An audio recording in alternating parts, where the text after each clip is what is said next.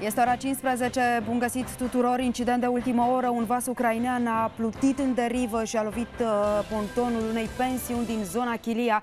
Toate informațiile vin chiar în acest moment de la colega mea Alexandra Ghețea. Alexandra, bună ziua! Ce se știe până în acest moment? Ce s-a întâmplat acolo?